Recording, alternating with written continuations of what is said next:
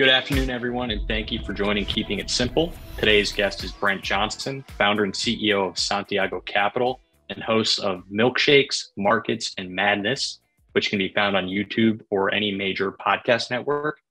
As a reminder, today's episode is meant to be entertaining and informative, but it is not intended to be considered investment advice. And now over to you, Harley and Mike. Well, thank you very much. I really appreciate you coming to join us, Brent. I think you're familiar with this soundtrack.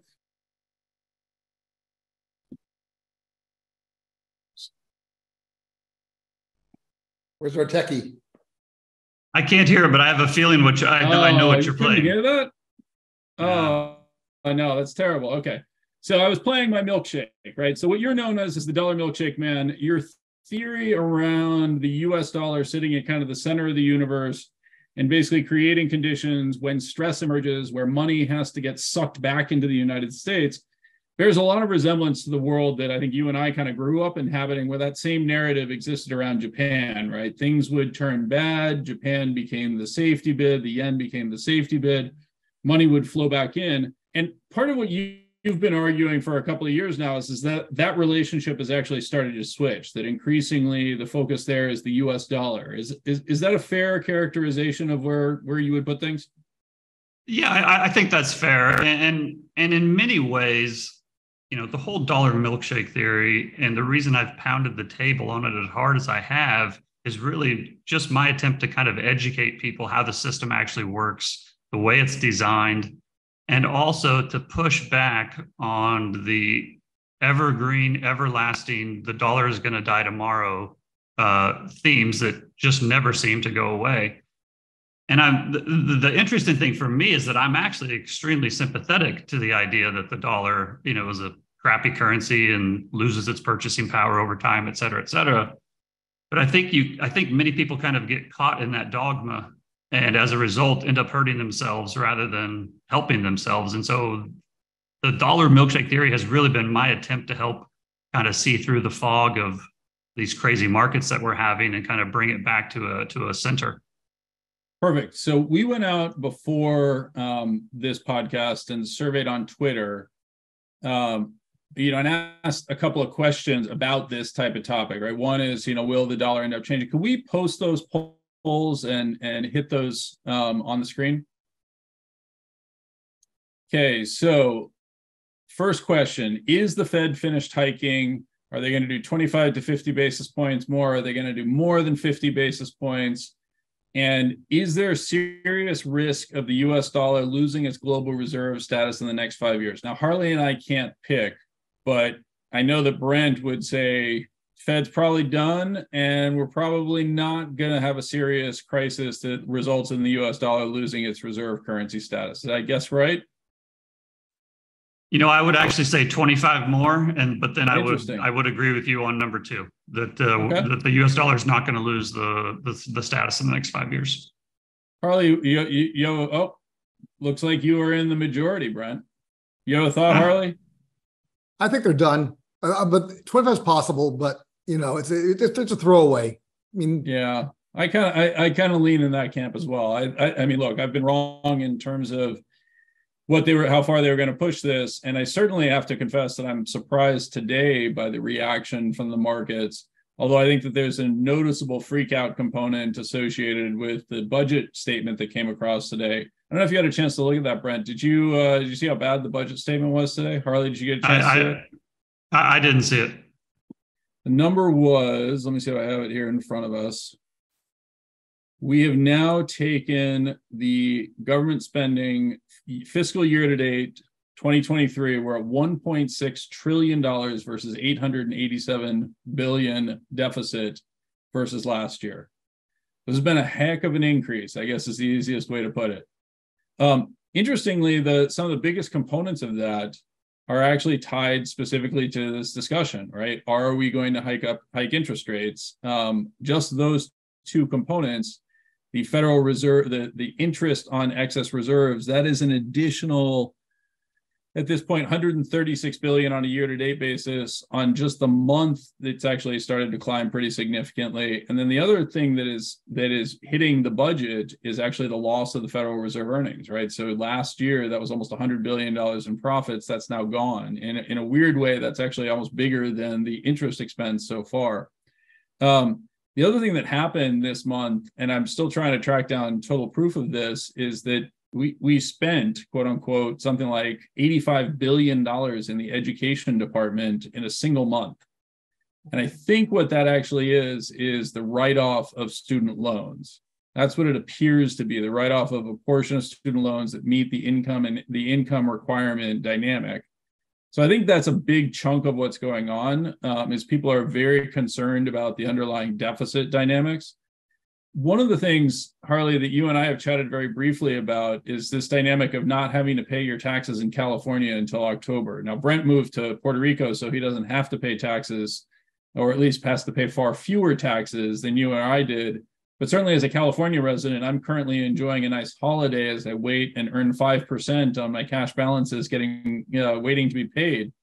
I, I noticed the other day that Google is in the exact same situation that they're they've got nine billion dollars that they have in unpaid taxes, earning five plus percent in the money market fund right now. Pretty sweet gig when you got it.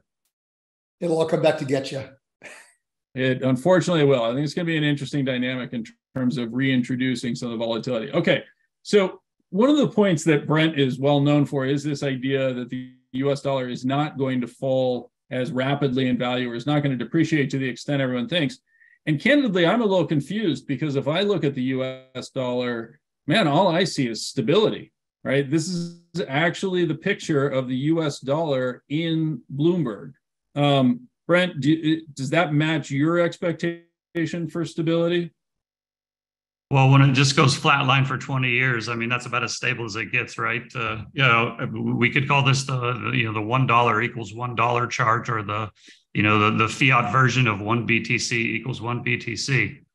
Um, but I think to your point, and I think I know why you're putting this chart up here is, is, is the point that I've tried to make is that everything rotates around the right. dollar. The whole system is built around the dollar. So this is the dollar priced in the dollar. And right. we can look at a lot of other things priced in the dollar, but, uh, you know you don't have to like it but it's just really important to understand that this is how the system is designed.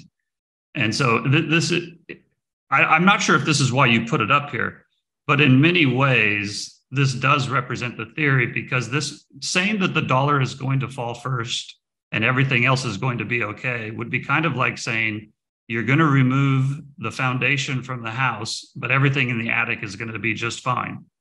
Um, it, it, it just doesn't work that way. You can't you can't blow up the foundation and have the rest of the house be okay. And uh, you know, I, I see the dollar as the foundation of the monetary system.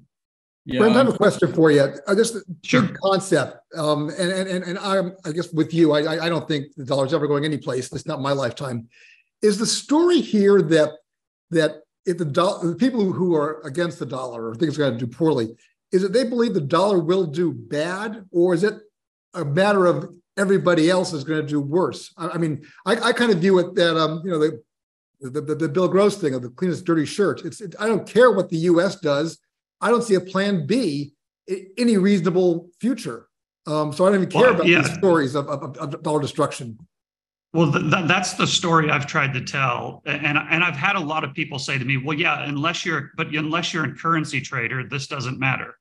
And the point that I've tried to push back and say, yes, it does matter because if everything is priced in the dollar, you know, which is basically what this chart here is showing. Right. And if if all fiat currencies fall in purchasing power, but the US dollar falls slower than everything else, it creates deflationary pressures in dollar terms, which has the potential to undermine and create chaos in the entire system. So even though you may be, even though fiat may be losing value, you can still have deflationary pressures, which is a little bit hard for people to get their head around. But but that's actually the way it is. That's that's the design of the system. And that's really the underlying story that I'm actually trying to hit here. I mean, one of the things that's so fascinating to me about this is Brent, I don't know if you remember when when I was spending a lot more time talking in the crypto space, particularly about Tether and Bitcoin, et cetera. You know, one of the things that we discovered was that many of the exchanges had hard coded the value of Tether to one, right? So it wasn't even actually trading as a metric it was treated, you know, um, in in uh, many of the swap markets, for example, as if it was a unitary component. That's actually what's happened with the U.S. dollar. If I go into Bloomberg, people's immediate reaction to this is, well, this is just the U.S. dollar versus the U.S. dollar, therefore it's one. It's actually not that. It is a, it, it is actually an integral, a unit number that is programmed hardwired into Bloomberg, and everything else does indeed rotate around this number. It's it, yeah. like it's a pretty it's it's pretty incredible when you start to think about it in that way that every time we watch something move and this is one of the many reasons you see me doing ratio charts I'll price something in gold terms or whatever not because I'm necessarily saying that's the right number but simply because I'm trying to make a historical comparison between time periods when it was actually linked to gold for example there was an underlying um, exchange component to it so this is actually really important. But the exactly what that brings up is the point that I think you and I would also both make, which is, well, maybe it's not really that stable at all. Right. If we look at how many ounces of gold can be bought with a US dollar, it's collapsed in almost exactly the same ratios as the quantity of silver per Roman denarius. Uh, absolutely. And and you know, I've always said since the very first time I mentioned the word milkshake, and you know, the funny thing is I'm probably as tired of talking about the milkshake as you are as, of talking about as passive, right? Yeah. It's like it's, you, you've, you've told the story so many times, but but I just think it's incredibly important. And the reason I think it's incredibly important is I still see pe- so many people pushing back on it. Uh, but since the very first time I mentioned the milkshake, the point that I made was that yes, the, the, the US dollar is a horrible currency. And for everybody that, that, that wants to throw stones at it, I'm happy to throw the stones with you. But this is the system as it's designed, and it's better than all of the other fiat currencies out there. And as a result, I think that we'll eventually get into a situation where the dollar and gold rise together versus everything else. And, and that was probably one of the most, I don't know, controversial pushback on points that I made because they say that many people will say that, that can't happen. Well, you're right. The dollar can't rise versus gold in gold terms at the same time that the gold rises versus, but they can rise versus everything else. And, and that's really what this is about. It's about understanding. It's two components. One is understanding that dollar and gold can rise versus all the other currencies. And that if that happens, it is incredibly destabilizing for the entire system because the dollar underlies the entire system. Whether you want it to or not, whether you like it, whether you think it's a good, it doesn't matter. That's just reality right? And so that, that it, it, it's imperative to understand that if the dollar and gold rise together versus all of the other, other currencies bad things are going to happen. That well, that is not a good war. scenario. I mean, that's nuclear war but i mean i mean it's kind of yeah. that's not i don't think it happens actually. I mean if you look at like going back to mike's you know roman chart i mean roughly an ounce of gold buys, buys a fine man's suit so you could buy a toga for an ounce of gold, you could buy a suit of armor for an ounce of gold, and you could buy a Zegna suit for kind of for an ounce of gold. So gold's been actually relatively stable to hard assets. So I mean, the, the dollar and gold together is kind of like jumbo shrimp, isn't it? They, they, they don't go together. One's a hard asset well, you grab, the well, other is kind of made up. But, but the point is, is it, it, it's not as big a deal for U.S. investors. But if you're not a U.S. investor and you are building out your portfolio, unless you want to bet it all on one thing, in, in other words, if you want to have at least a little bit of diversification, you could buy dollars and buy gold and watch them both go up versus your home currency, because I think that's what's ultimately going to play out. Now, I've also said since the very beginning that ultimately I think gold will win that war. You know, gold will ultimately beat the dollar. It'll beat all the other currencies, but it'll ultimately beat the dollar as well. So when people will show me these charts that Mike showed me, and it shows that you know the dollar's lost its purchasing power versus gold or silver or whatever it is, I say, yeah, that's absolutely correct, and you should own gold as a result. Um, you know, I, have never said you shouldn't own gold. In fact, it's been quite quite the opposite. I, have encouraged everybody to own gold, but I've encouraged people not to only own gold. Yeah. Well, where are you in the in, in Bitcoin? I hate to ask this question, but I mean, because people will say that Bitcoin is like you know electronic gold. Are you in that camp or you're not?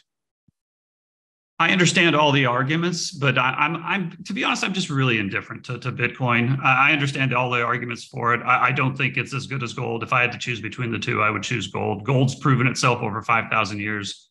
You know, Bitcoin's been around for almost fifteen. Um, so far, it hasn't proven anything other than to me that it's a speculator's paradise. But you know, could I be wrong? I could be wrong, but I, I would choose gold over Bitcoin. I think I think, I think, I think the interesting thing. I mean, I, so I actually am more sympathetic to Bitcoin, believe it or not, than I am to the gold argument.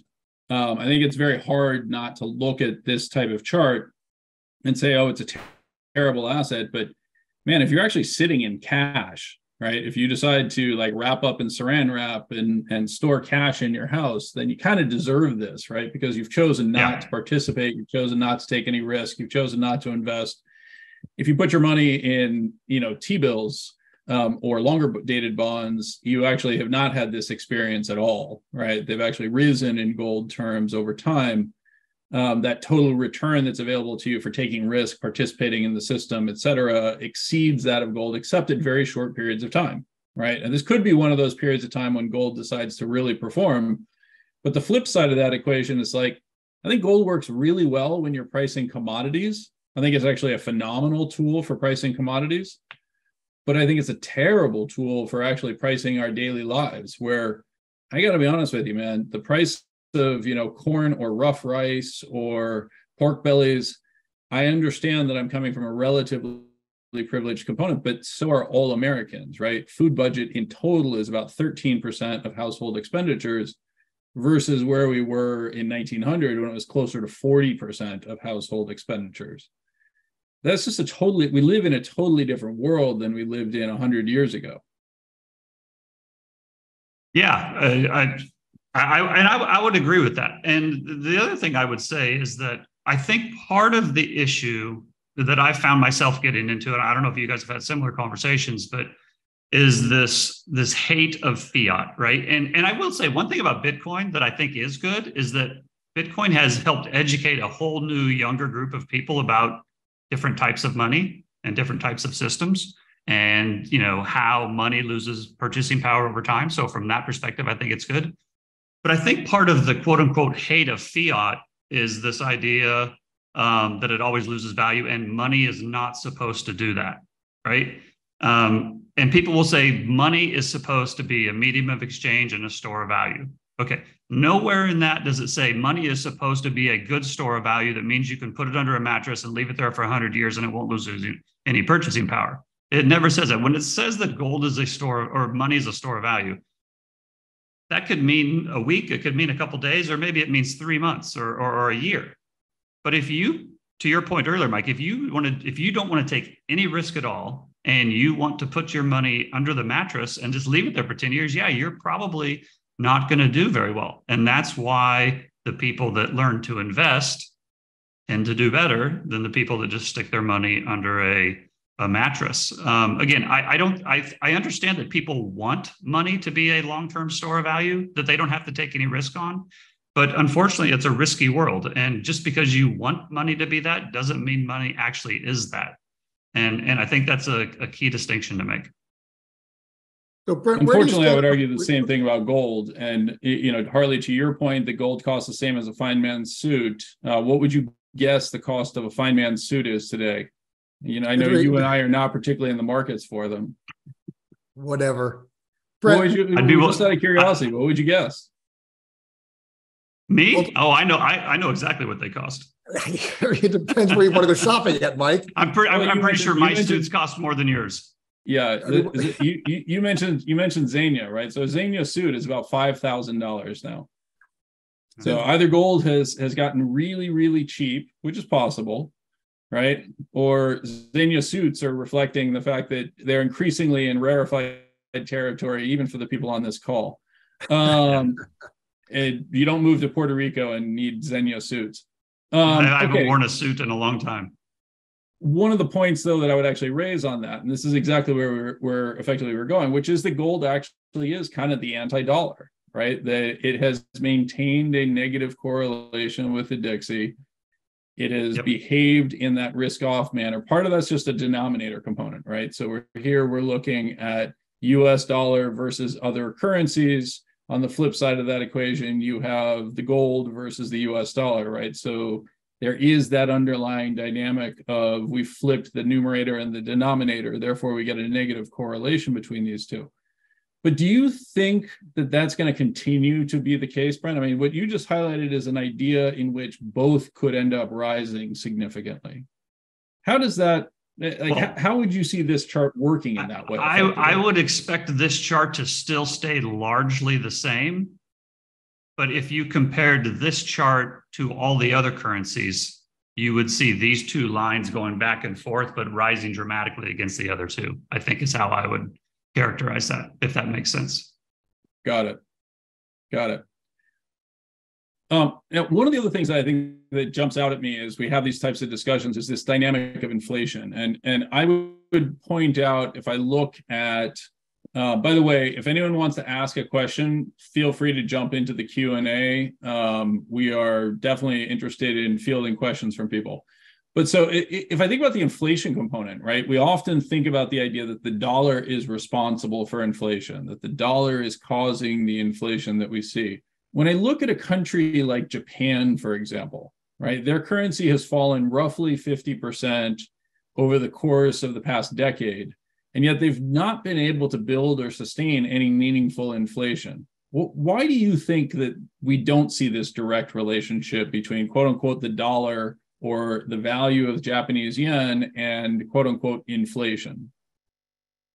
Well, I think a lot of it has to do is that it's a very globalized world now, right? If if if if China, I'm sorry, if Japan just was you know landlocked and nothing could get in or nothing could get out and its currency was falling that then i think there would be more inflation but i think because we've been in a largely deflationary world for the last 15 years or 20 years however you want to measure that um, that has allowed for lack of a better way of saying it for the bank of japan to do what they've done and get away with you know the extreme monetary policy without causing the enormous inflation in, in yen terms. Wait, isn't Japan the definition of a landlocked country? I mean, they're xenophobic like crazy. No one goes there. They have a declining population, and most of the debt is owned internally.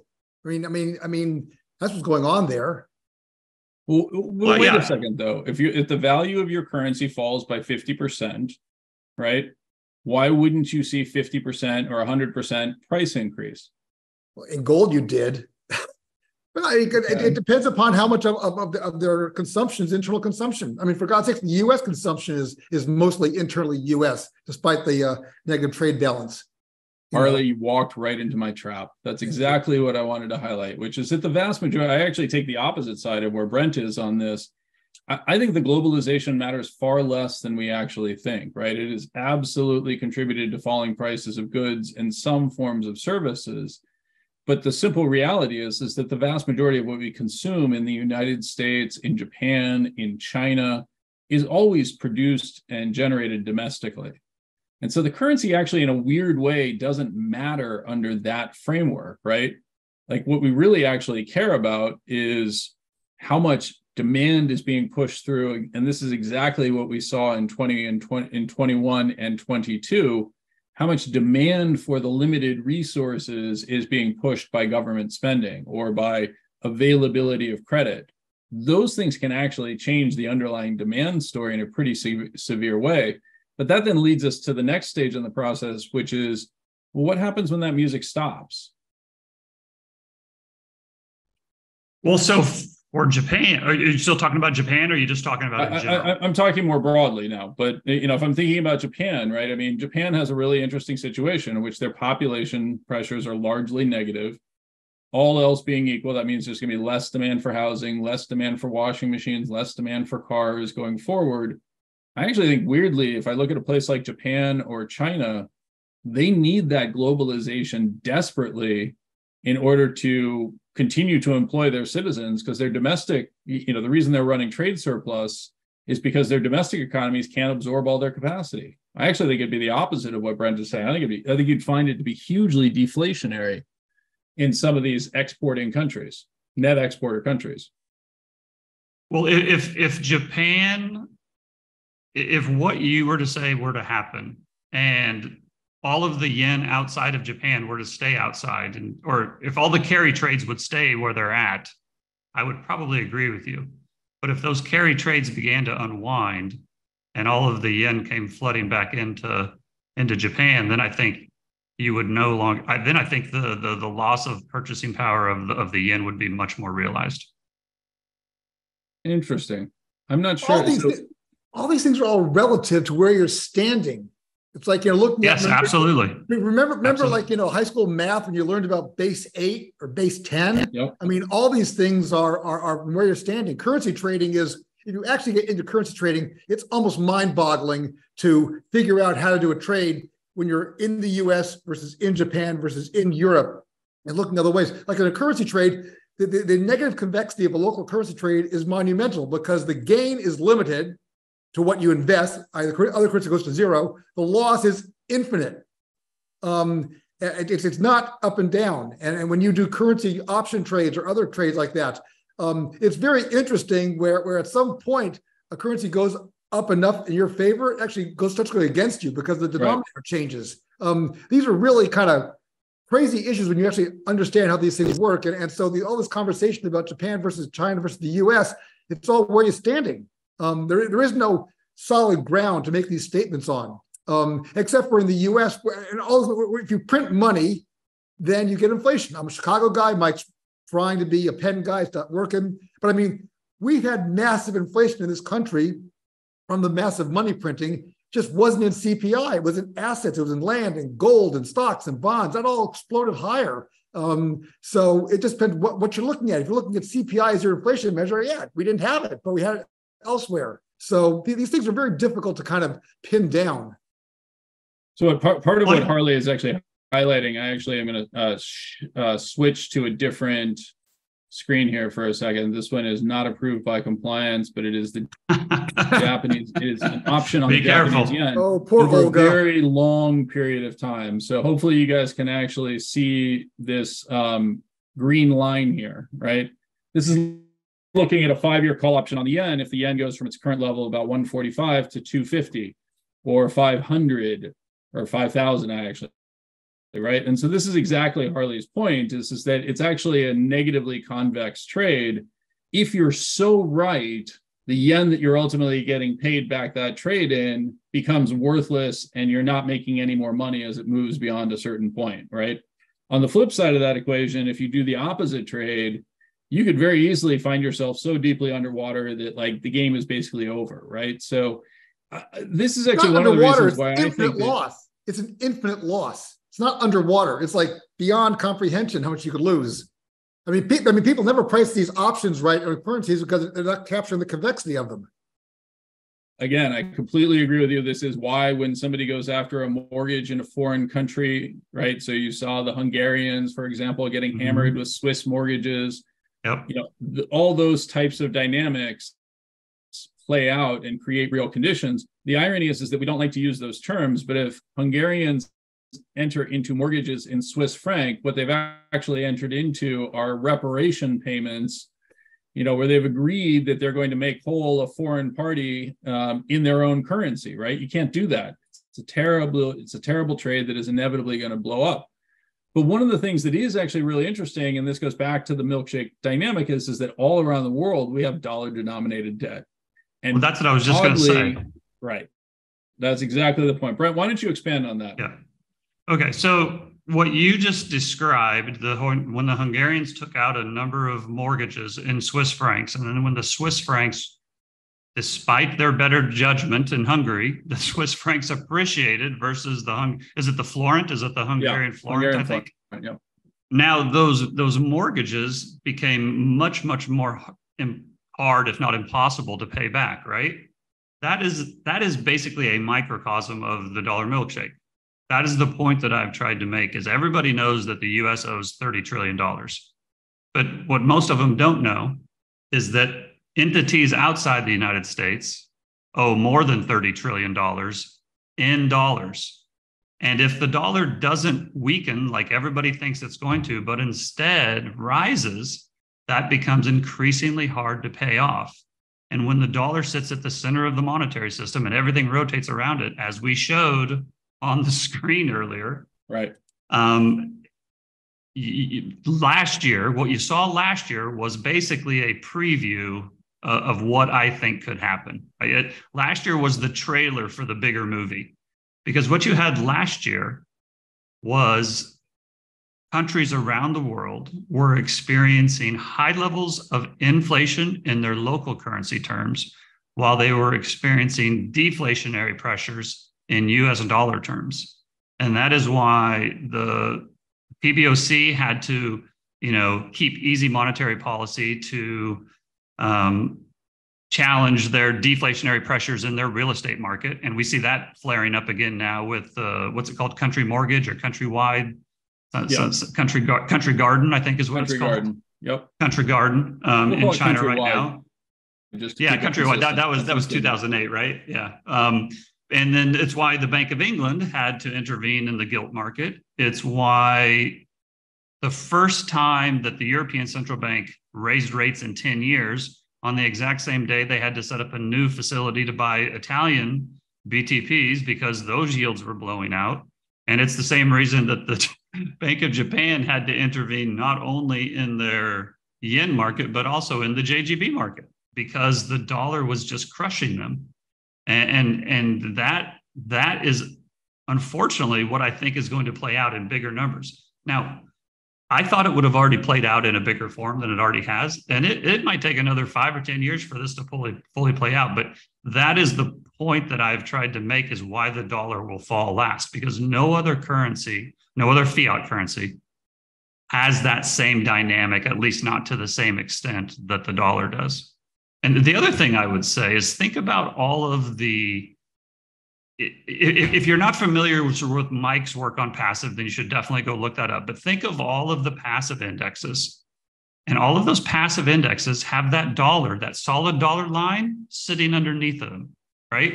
And then you think of all the quant trading that goes on now, that's not even a person making the decision, right? A lot of those are run over data feeds that whether it's Reuters or whether it's Bloomberg or whatever it is, but they have that same line underneath it, right? That that dollar line undersits it. And when that dollar spikes, those positions get sold. And when those positions get sold, you get massive deflation, at least in dollar terms, right?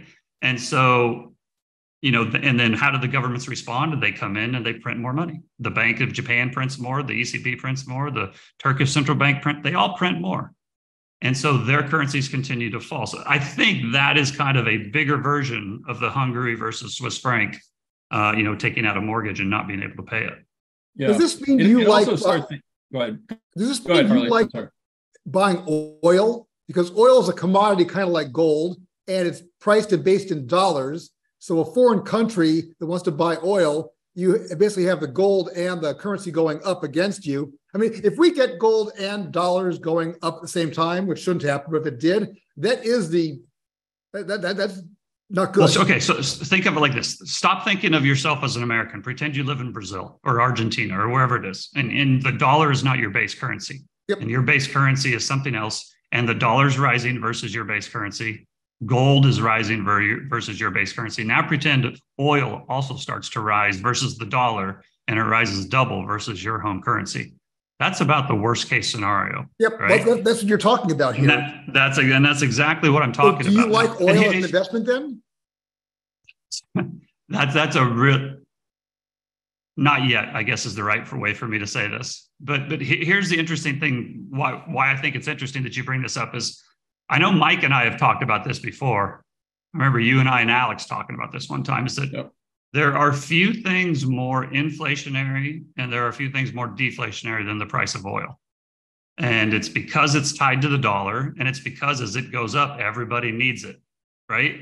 And it's also that's that's the inflationary part, but it's also deflationary because because everybody needs it, everybody has reserves of it, and as the price falls, it can be used as less collateral to loan new money into existence right? So so you get into this thing as the price of oil falls and deflationary pressures take over. There's less collateral off of which to create new money. So again, I, I think oil is an incredible barometer for whether we're going to have inflation or deflation. And again, but again, it's very important to when you say that, whether you're thinking in dollar terms or whether you're thinking in foreign currency terms.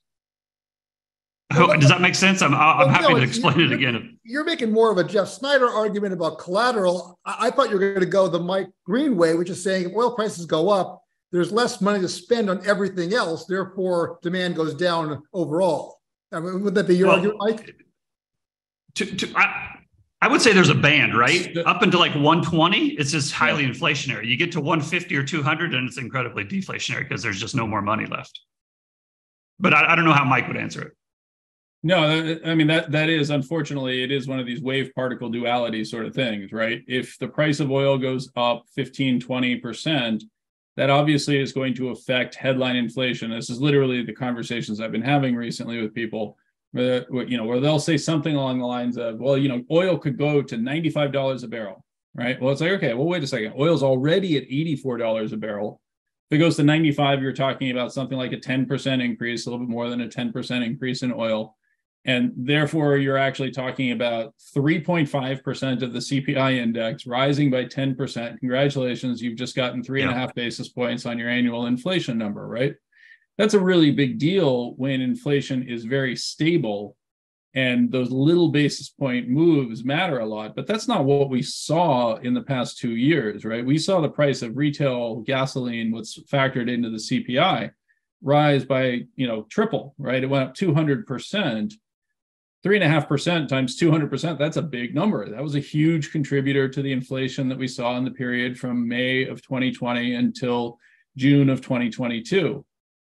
Now we're seeing that reverse, but you know, everyone is very focused on they say, oh my gosh, energy prices could go up a lot.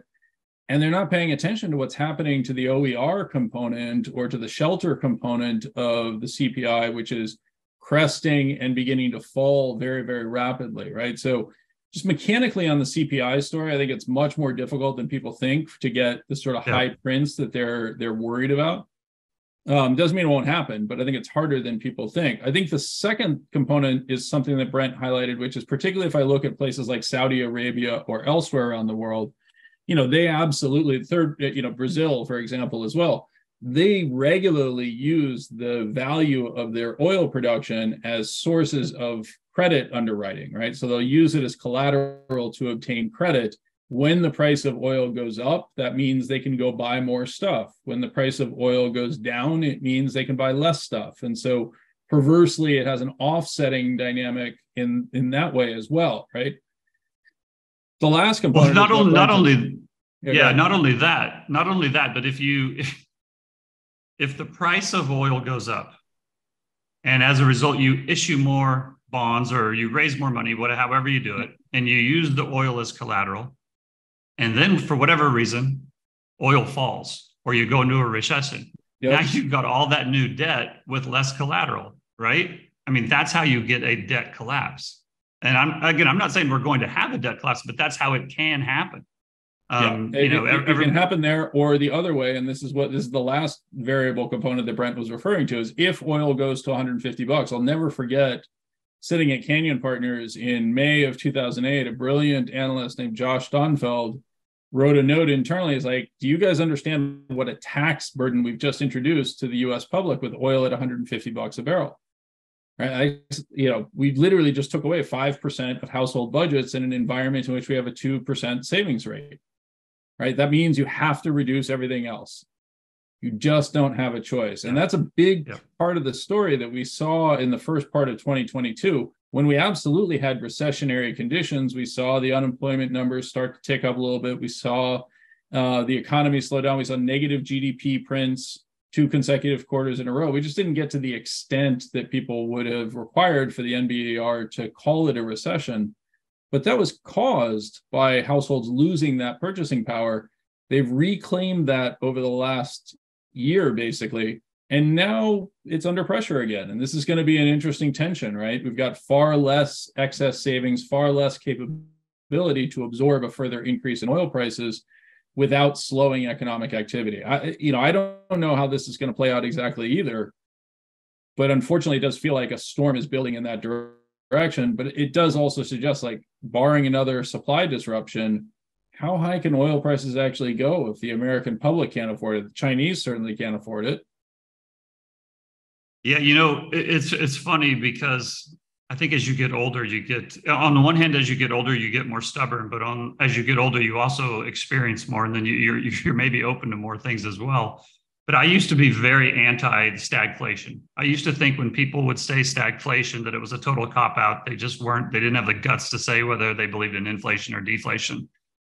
But I would have to say that over the last three years, I actually think as my as I've seen stuff happen and I've kind of kind of developed my I don't know thesis on how I think things will play out. I'm much more open to this stagflation idea, and, and because I think we will have um, inflationary pressures, perhaps from lack of you know we're, we're going to two supply chains. It's not as efficient as it used to be. You know, we could potentially have military conflicts, supply disruptions, whatever. But then I also think we could have massive deflationary pressures because of the way the system is designed and you know the lack of uh, abundant collateral when you get a short short squeeze, or I mean when you get a collateral call, right? And so you know I, I think we and especially again I, I, know I keep saying it depends on where you're sitting. I, I especially think this is more true for countries that are not the United States and or or for currencies that are not the United States or the, or the US dollar. So, so now that you're an old man and you're experienced and you're gutsy, let's go and make some gutsy calls here. Like, what do you like? Like, what rubber meets the road, man. What do you what do you, what do you like over here? Well, I don't like a whole lot right now. I am. I will say the one the one thing that I think inflation could perhaps stay a little bit stickier. I'm, I'm incredibly sympathetic to Mike's views, and I and I, and I won't even really argue them. I know he's right when it comes to the despite housing. Being, uh, the, despite uh, him being wrong oh, the last two years, right? Well, but but Yes, but the reason I'm sympathetic to it is I know how quickly you can just immediately go into deflationary pressures based on the design of the system. And especially once we get a few prints of like commercial real estate being sold at fire sale prices, you know, and they have to start marketing them to market, you can get this deflationary uh, pressure very quick and the CPI can just disappear. Um, but I kind of like ags. Um, I bought them earlier in the summer. They had a nice little run up and I sold them. I, I sold them too soon, but I made about 10% and then they went another 10% higher. And now I've been waiting to buy them back. And I kind of feel like, I kind of feel like this winter, so I'm sorry, let's jump back. Last winter was relatively warm globally. You know, Europe didn't need the amount of energy that perhaps they would have if if it was a colder winter. Um, and for the most part, um, crop growth was good. You know, Putin didn't withhold grain coming out of uh, Ukraine. I'm not sure that this winter will be as favorable to the markets as last winter. And so I think this winter we could have um, not only I think we have El Nino coming in this winter. La so I think I think yeah. a lot sorry, La, La Nina. So my Spanish hasn't improved at all in, in the last few years. Um, but I think that that could impact crops. I think I, I, think Putin will probably play a little bit tougher than he has in the last year or so. So I, I feel like wheat, corn, soybeans. I, th- I feel like things like those, if, if I had to make a bet on anything right now, that's where it would be. And you want to buy the commodities themselves, or what by the, the, the, makers or the producers I, of the product? I, I would just buy the I would just buy the the futures, the commodities. Okay. Um, the other thing I know that you like is things that are not totally uh, negatively convex in their construction. That would be things like betting against the Hong Kong dollar, betting against the Saudi. Riyal, the pegged yeah. currencies that would break under your dollar milkshake theory. Can you expand on that a little bit? Yeah, I mean, essentially, I guess it, this is this is going to be a very simplified version, uh, but essentially, the way that currency pegs work is that when these other countries have excess supply of dollars, or when they get dollars, their central bank takes the dollars and gives the banks, you know, the local currency. And then the central bank uses the, that, those dollars to turn around and buy their own currency on the open market, which keeps their currency roughly in line with the US dollar. It's a way to artificially keep their currency strong. That's a currency peg. Very simplified version, but that's a currency peg. Um, And as long as they have enough dollars to do that, it's no problem. And as long as dollars continue to flow in, it's no problem. But when the dollars start to dry up, and then, God forbid, they start to flow out, where do the dollars come from to keep those pegs? And that's that's if we get into a scenario where the dollar rises a lot, um, or we get a credit contraction, or we get some kind of a global credit event, and dollar liquidity dries up, it becomes harder for those countries to maintain those pegs. And countries will never say that they're going, they will never give you a heads up that they're going to like let the peg go. But eventually, as their dollar reserves start to dwindle, they have to make a decision. Do we keep throwing good money after bad and spending it on a, on a currency peg that's eventually going to break anyway? Or do we save our dollars so we can buy things like grain and oil and other much needed commodities? And I think that's where we're going to get to. Um. It doesn't mean it's going to happen tomorrow, but I think we're going to get to a point, and I think we were getting pretty close last year.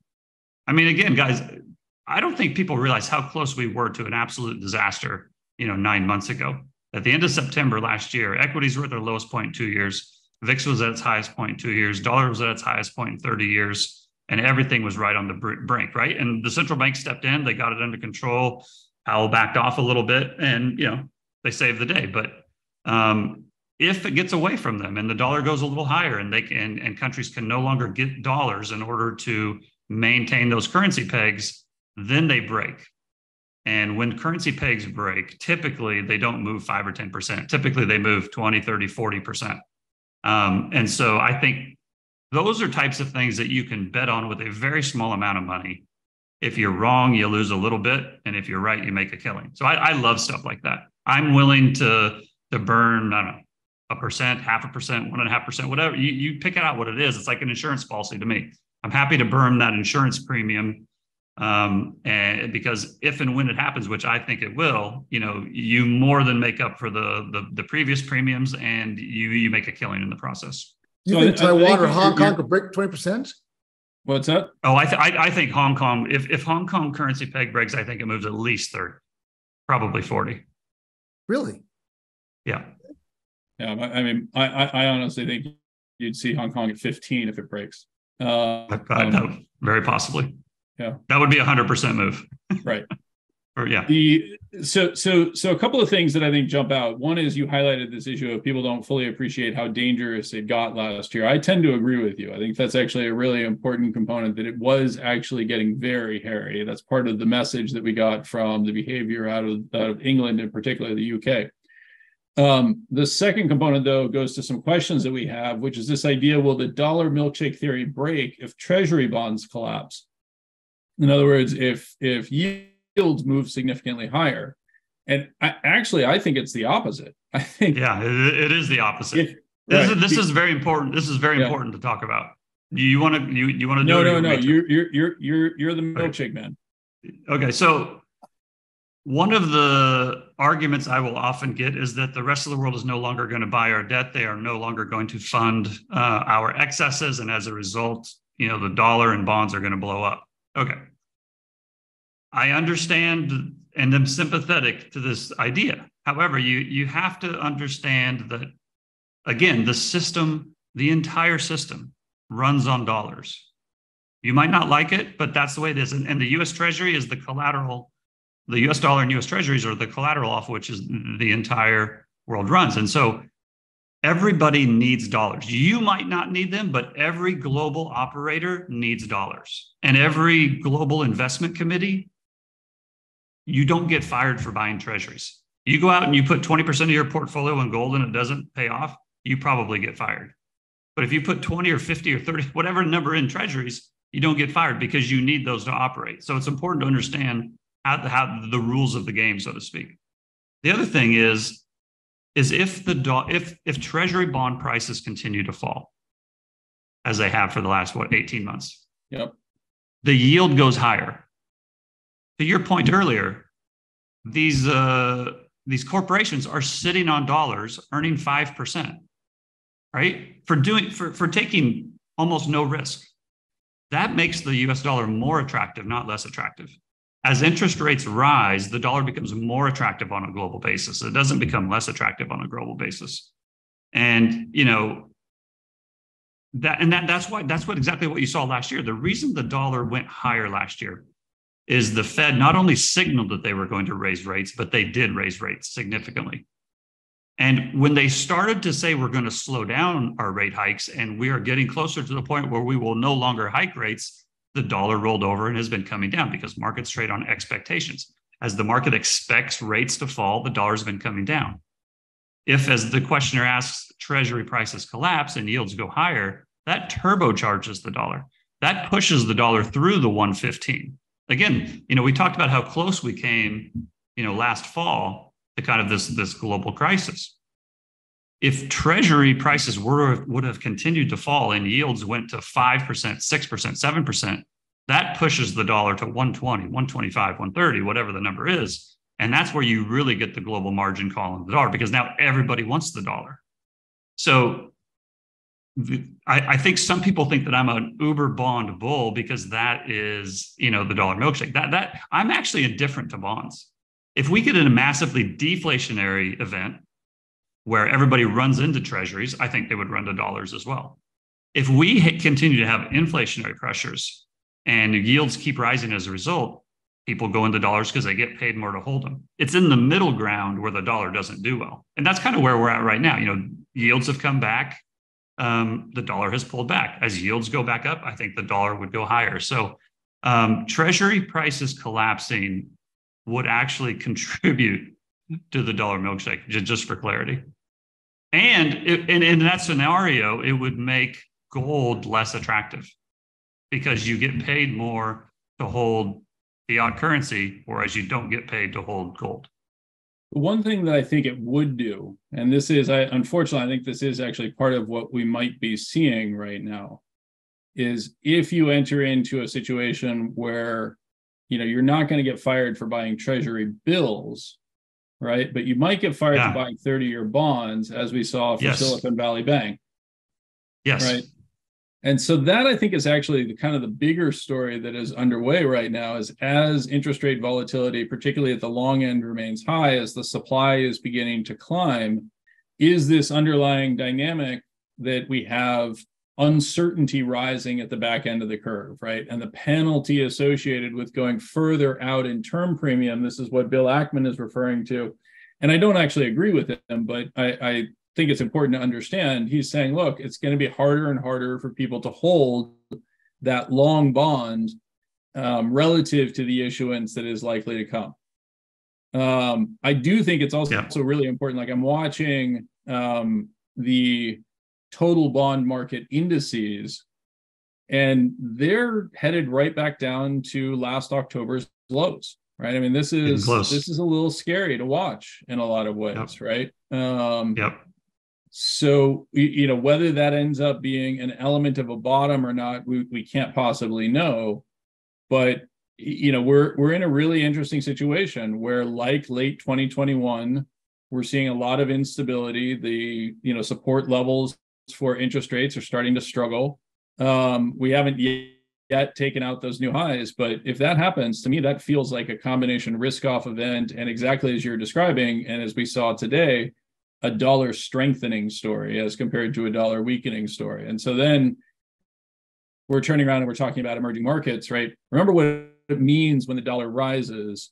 If the dollar rises, it means it's harder for emerging markets to get their hands on them to pay off the obligations that they've entered into. It means that the crops that they sell, the products that they sell, the labor that they offer to the developed world falls in value relative to other sources. Yes, they can kind of increase the output.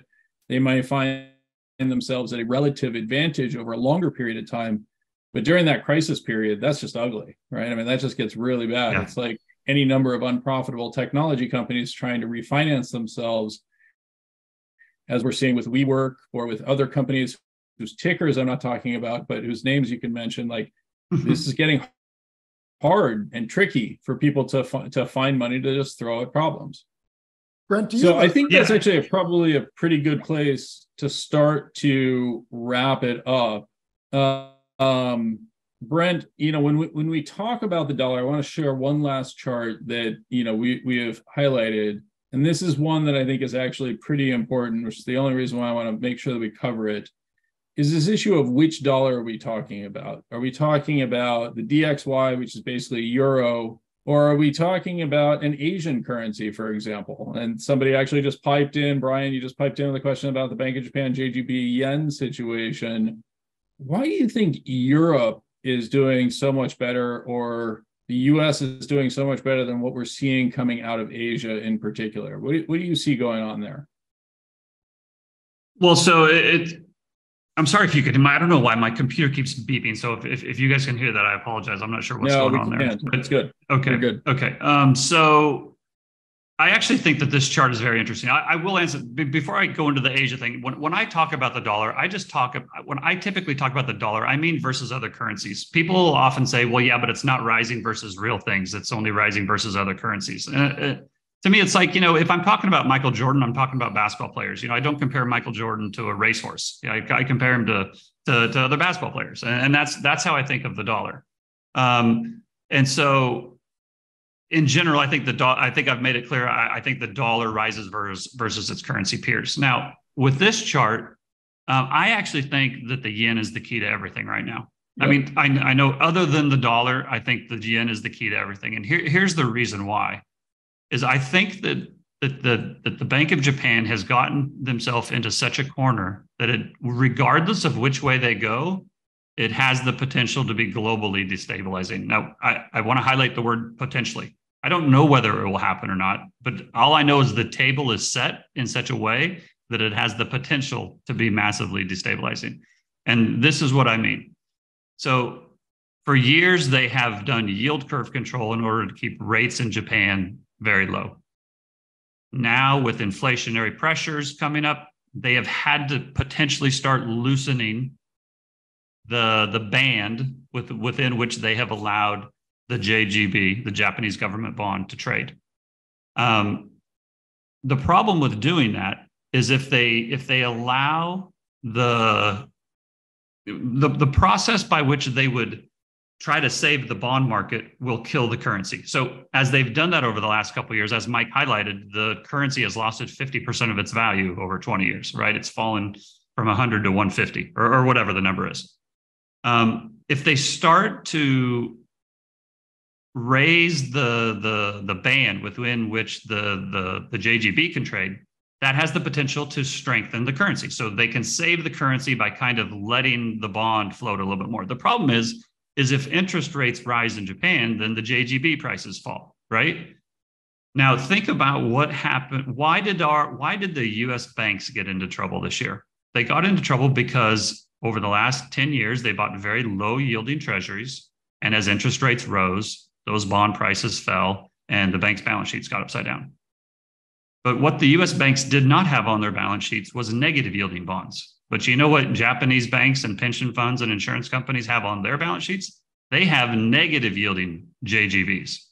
So interest rates in Japan don't have to rise very much in order for those bond prices to fall a lot. And as a result, upset all those balance sheets.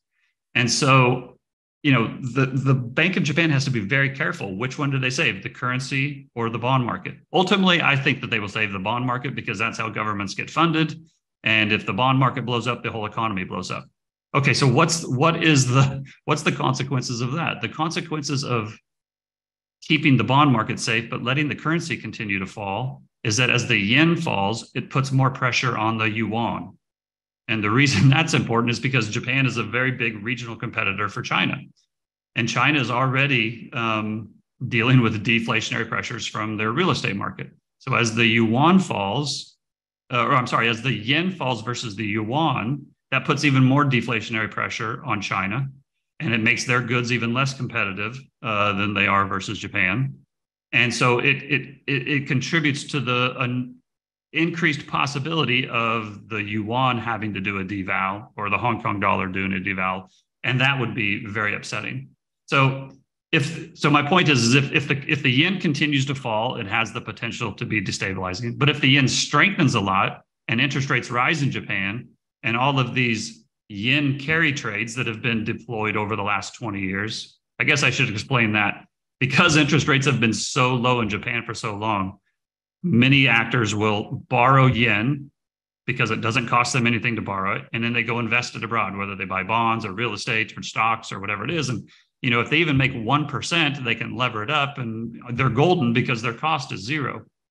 Well, as interest rates start to rise, those carry trades start to get pulled back in, right? And if that, if, so what happens when those carry trades unwind? When carry trades unwind, those assets that the, yen was in get sold, right?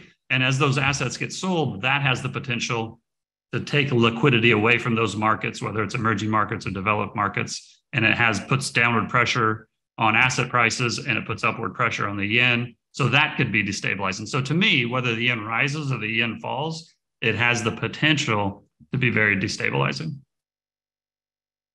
That was a long yeah. answer. I apologize. No, no, no. It was, it was, it was a long answer, but I think it was a great one. I think it speaks to the characteristic. I, by the way, actually share your fear about the Japanese yen. Um, I would also toss on the Chinese yuan, et cetera. I think that there's a very, very real risk within Asia in particular that it begins to fail as the global exporter, right? We're actually seeing, despite yeah. the yen having fallen from 75 to 150 rounding over the past, you know, since 2011 Fukushima, right? We're actually looking at a situation in which they're underlying current account surplus is actually turning increasingly negative. Their trade relationship with the rest of the world, because of the loss of the terms of trade for things like electronics, et cetera, relative to the price of oil, which has been relatively stable, certainly in flat panel TV terms or automotive terms. You know, and the competition that's emerging from places like China that's increasingly moving into Japan's backyard on things like automobiles you, know, there's a very real risk that some of these long-standing relationships break. And what you're highlighting is this issue of you know what happens when collateral disappears from the system. That's when credit crises begin to occur. When you suddenly discover the AAA credit is no longer leverageable at 30 to 1, it's only leverageable at 3 to 1. That dramatically reduces things. All right. Well, we have taken the entire audience this time rambling about a milkshake and dollar and everything else. And I think, like Brent, we're all, you know, we're all struggling with this new world that we inhabit because we deeply understand that there are a lot of challenges in the United States that we're certainly not bringing great policy choices to bear on them. And yet, on days when we see things like the bond market sell off, that dollar is strengthening, right? And it's creating conditions under which I think we're all a little nervous that we're going to wake up 12 months from now and find it's much harder to get these dollars than people think it is today. So I think that's, you know, that to me is the overwhelming message that comes out of the milkshake theory and the underlying dynamics that we're in. And with that, I'm going to hand it over to Eric, who's going to lead us out and give us indications for the next one. Excellent. Thanks, guys. Fascinating conversation. For those watching, if you'd like to follow more of Brent's commentaries, check him out on Twitter at, at Santiago AU Fund and subscribe to Milkshakes, Markets, and Madness across other major content distribution channels. Tune in next month for special guest, former OECD economist William White. Until then, have a great night, everyone.